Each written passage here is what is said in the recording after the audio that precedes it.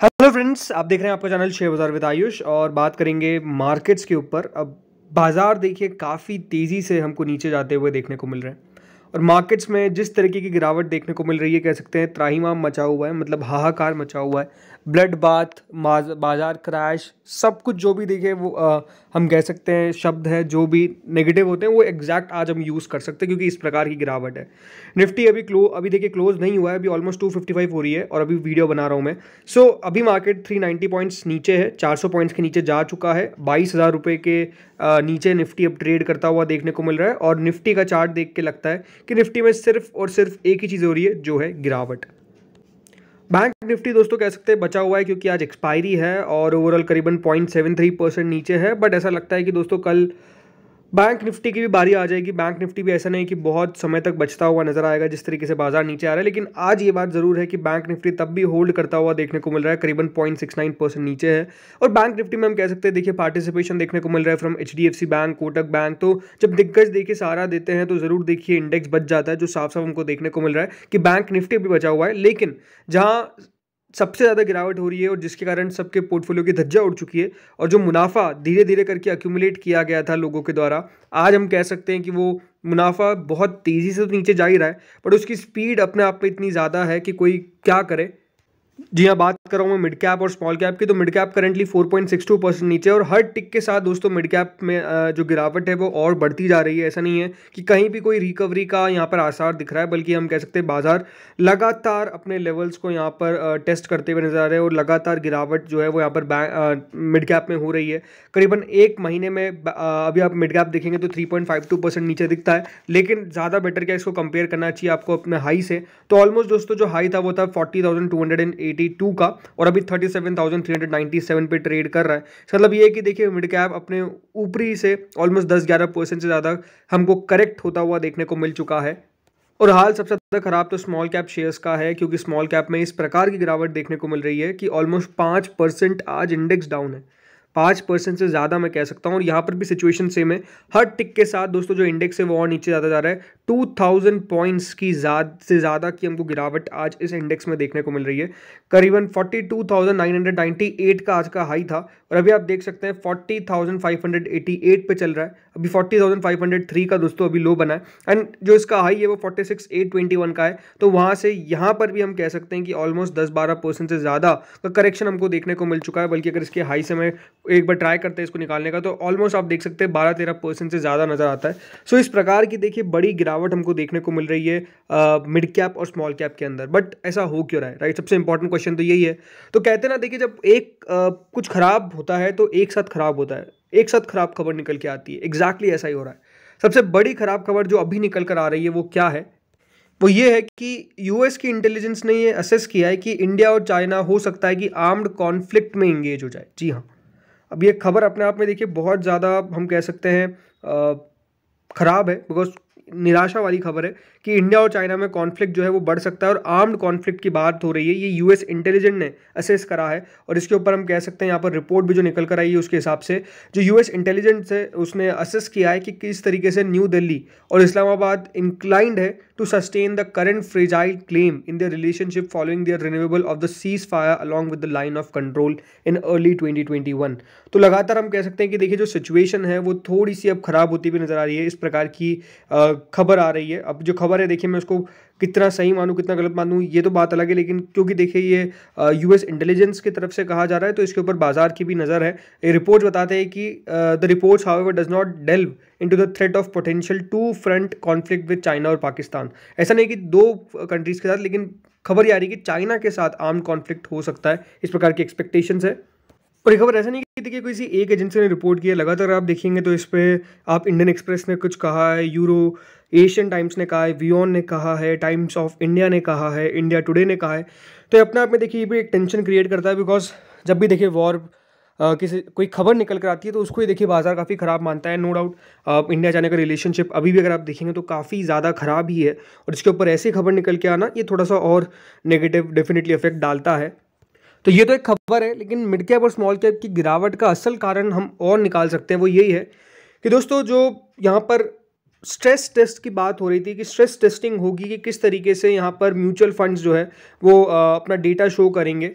और एक mandatory disclosure आएगा for mutual funds which would be primarily look at stress testing in mutual funds will be out by March fifteen ऐसे दोस्तों माधवी बुच ने साफ़ साफ़ कहा था मतलब जो चेयरपर्सन है सेबी की उनके द्वारा साफ़ साफ़ कहा गया था कि अब स्ट्रेस टेस्ट करने वाले उसमें चेक करेंगे कि किस तरीके से म्यूचुअल फंड्स यहाँ पर पैसा डाल रहे हैं। सो so, पर्पज़ क्या होगा? इसका पर्पज़ यही होगा कि किस तरीके से म्यूचुअल फंड स्कीम्स के अंदर एग्जिट कर सकते हैं from their underlying portfolio in case of a stress situation और रिडम्शन प्रेशर बिकॉज़ एक बार ध्यान रखिएगा कि म्यूचुअल फंड्स अगर एक बार बेचना चालू करेंगे तो आपको पता है कि बाज़ार में गिरना स्वाभाविक सी बात है बिकॉज़ म्यूचुअल फंड ऐसा तो है नहीं कि छोटे क्वांटिटी में ट्रेड करते हैं।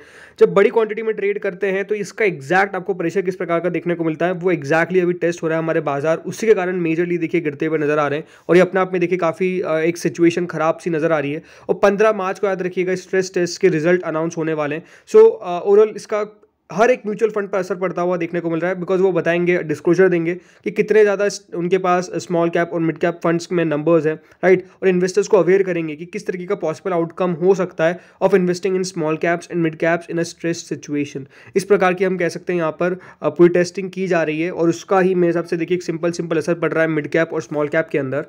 दूसरी बात दोस्तों, सेबी का जो बयान निकल कर आ रहा है, सेबी चीफ का स्पेसिफिकली जो बयान निकल कर आ रहा है, उनका द्वारा यही कहा गया है कि अब जो वैल्यूएशन है वो ऑफ़ द चार्ट्स मतलब वैल्यूएशन काफ़ी एक्सपेंसिव उनको नज़र आ रही है स्मॉल और मिड कैप स्टॉक्स के अंदर। और इसीलिए उनका मानना है कि ऑफ़ द चार्ट्स है और वैल्यूएशन जो है वो इस सेगमेंट में काफ़ी ज़्यादा ऊपर है।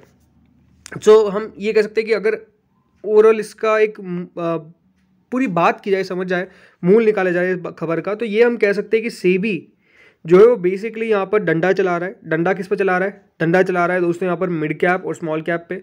इसीलिए जो पिटाई है वो बाज़ार की हमको देखने को मिल रही है बिकॉज़ सेबी नो डाउट देखिए मिड कैप स्मॉल कैप पे जब उनका बोलना चालू हो रहा है तो आप देख सकते हैं किस प्रकार का यहाँ पर गिरावट नज़र आ रही है। बिकॉज़ ये आपको समझना पड़ेगा कि ग्लोबली इवेंट्स कुछ भी खराब नहीं है। अमेरिका के बाजारों में कल अच्छी तेज़ी देखने को मिली बट हमारे बाज़ार क्यों गिर रहे हैं? रीज़न सिंपल है बिकॉज़ दोस्तों सेबी यहाँ पर एक्शन लेता हुआ नज़र आ रहा है। और इसी को देखते हुए आज क्या हुआ आपको पता है?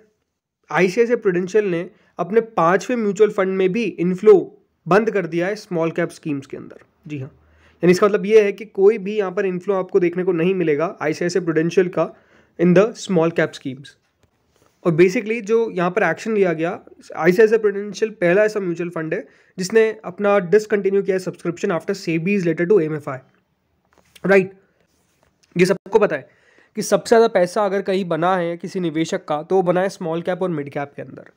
और स्मॉल कैप और मिड कैप के अंदर जहाँ पर दोस्तों पैसा बना है, अगर कोई पैसा खींचना चालू करेगा तो ऑब्वियसली बात है, वहाँ पर गिरावट देखने को मिलेगी, जो एक्जैक्टली हमको देखने को मिल रहा है।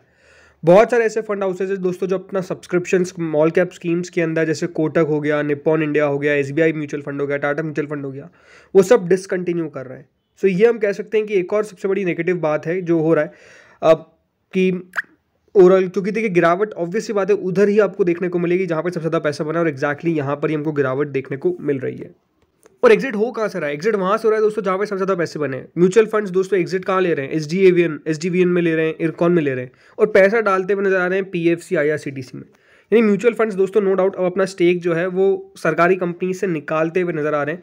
सरकारी कंपनीज़ में ऐसा नहीं कि डाल रहे हैं, बट वहाँ से पैसा निकालते हुए नज़र आ रहे हैं, जहाँ पे देखिए उनका पैसा बहुत अच्छा बना है। और वहाँ से अब अपना मुनाफा जो है, वो बुक करते हुए नज़र आ रहे हैं सिंपली यहाँ पर हम कह सकते हैं। ये तो दो बड़े कारण हो गए लेकिन तीसरा बड़ा कारण क्या है? तीसरा बड़ा कारण ये हो सकता है कि दोस्तों, क्योंकि आप सबको पता ही है कि जल्द ही इलेक्ट्रॉल जो बॉन्ड्स थे, उनका डेटा आने वाला है। एसबीआई ने डेटा जो है वो बेसिकली यहाँ पर इलेक्शन कमीशन को दे दिया है और ऐसा दोस्तों साफ़ साफ़ उनके द्वारा बता दिया गया है कल ऑनरेबल सुप्रीम कोर्ट को। और याद रखिएगा पंद्रह तारीख रखी गई है जब ई e को अब अपडेट करना पड़ेगा वो डेटा अकॉर्डिंग टू डेटा जो निकल कर आया उसमें ये बताया गया एस के द्वारा कि करीबन twenty two thousand two hundred seventeen electoral bonds जो है वो बेसिकली दिए गए 2019 से 2024 के अंदर जिसमें से 22,030 को रिडीम किया गया है पॉलिटिकल पार्टीज़ के द्वारा। अब ये बात ध्यान रखिएगा, क्योंकि इलेक्टोरल बॉन्ड को अनकॉन्स्टिट्यूशनल यहाँ पर करार कर दिया गया है तो इसके अंदर जो भी नाम निकल कर आएँगे, वो नाम जानना ज़रूर देखिए, यहाँ पर सब चाहते हैं, और जो एग्जैक्टली हमको नाम निकल कर आएगा। इसीलिए हम कह सकते हैं कि देखिए, इससे जो जुड़े हुए, ज़्यादातर आपको पता है कि देखिए, सरकार के साथ जो जुड़े हुए ज़्यादातर हाउसेज है राइट जो भी देखिए यहाँ पर बड़े घराने हैं, जहाँ पर आपको पता है गिरावट देखने को मिल रही है। जैसे कि अडानी ग्रुप स्पेसिफिकली अगर मैं बात करता हूँ तो आज अडानी ग्रुप पे भारी गिरावट देखने को मिल रही है और सातवां स्टेज सेशन था जब आप अडानी ग्रुप को गिरते हुए देख रहे हैं। ऐसा नहीं कि आज अडानी ग्रुप अकेला गिर रहा है, सारे बाज़ार में आपको गिरावट देखने को मिल रही है, सब जगह गिरावट देखने को मिल रही है। बट ज़रूर देखिए, जिस तरीके से आपको पता ही है कि जो भी डेटा है, उसमें जो एक नाम सब लोग समझते हैं कि आ सकता है, इसीलिए वहाँ पर आपको एक पहले से गिरावट देखने को मिल रही है। बट ये देखिए कोई गलत नहीं है, ये आपको समझना पड़ेगा किसी को, किसी पॉलिटिकल पार्टी को चंदा, ऐसा नहीं कि पहले नहीं दिया गया, हर, हमेशा से दिया जा रहा है। बट ज़रूर देखिए, बाज़ार है, बाज़ार गिरावट कर सकता है, जो एग्जैक्टली हमको देखने को मिल रही है। इसके अलावा दोस्तों, जो एक और बड़ा कारण है बाज़ार के अभी गिरने का, वो है मार्च का महीना। ये बात ध्यान रखिएगा, मार्च में प्रॉफिट बुकिंग आती है बिकॉज़ यहाँ पर फिनेंशियल ईयर क्लोज होता है।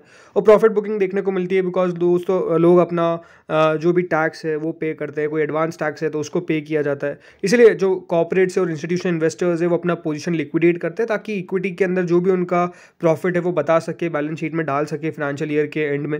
राइट तो इसलिए मार्च जब डेडलाइन होती है, क्योंकि पेमेंट करना पड़ता है एडवांस टैक्स का so some corporates and investors में choose to sell equities to raise cash right क्योंकि अगर उनको एडवांस टैक्स पे करना है तो उसको वो ज़्यादातर देखिए शेयर्स बेच के ही एडवांस टैक्स पे करते हैं तो इसीलिए वो हमको देखने को मिल रहा है कि मार्च का असर भी नो डाउट पड़ता हुआ नज़र आता है बिकॉज़ ये फिनेंशियल ईयर का एंड होता है और इसके बाद ओवरऑल मोस्टली इस महीने में मान जाता है कि गिरावट हमको देखने को मिलती ही है। तो ये दोस्तों कुछ बड़े कारण हैं बट आप सबके दिमाग में एक ही क्वेश्चन होगा कि इन लेवल्स पर फिर क्या लेना चाहिए। देखिए सिंपल सी बात है, अभी वेट एंड वॉच करिए, अभी तो मार्च का महीना खत्म नहीं हुआ है, अभी तो मार्च का महीना बचा हुआ है, आधा भी खत्म नहीं हुआ है। तो इसलिए ज़्यादा बेटर ये रहेगा कि देखिए, बाज़ार को जब तक देखिए ठंडा नहीं हो जाता है, बाज़ार में आपको ऐसा लगता नहीं कि हाँ एक रिकवरी के संकेत दिख रहे हैं, तब तक वेट करना चाहिए। सबसे इंपॉर्टेंट यही है बिकॉज़ हो सकता है कि देखिए एक डेट बाउंस आ जाए अभी, फिर वापस बाज़ार और नीचे चल जाए। तो इसलिए बेटर है कि थोड़ा सा वेट एंड वॉच करेंगे। जब तक देखिए सिचुएशन लग नहीं रही कि हाँ बढ़िया दिख रही है बाज़ार में फिर पैसा डालने की, तब तक नहीं डालेंगे बिकॉज़ अभी याद रखिएगा ये एक पैनिक सेलिंग हो रही है पैनिक सेलिंग कब तक होगी कित, कितना और होगी ये कोई भी नहीं कह सकता है। तो इसलिए बेटर क्या है कि अभी वेट करें और बाज़ार को देखिए पैसा बनाने से ज़्यादा इंपॉर्टेंट है बचाना और पैसा बचाना सबसे ज़्यादा ज़रूरी है। तो दोस्तों इस वीडियो में इतना ही था। होपफुल आपको वीडियो बढ़िया लगा होगा। बाकी आप लोगों को क्या लगता है कौन कौन से बड़े कारण है जिसके कारण और बाज़ार गिर रहा है? अगर यहाँ पर कोई टॉपिक मुझसे बच गया तो आप लोग बताइएगा। इस वीडियो में इतना ही था। Thank you friends watching this video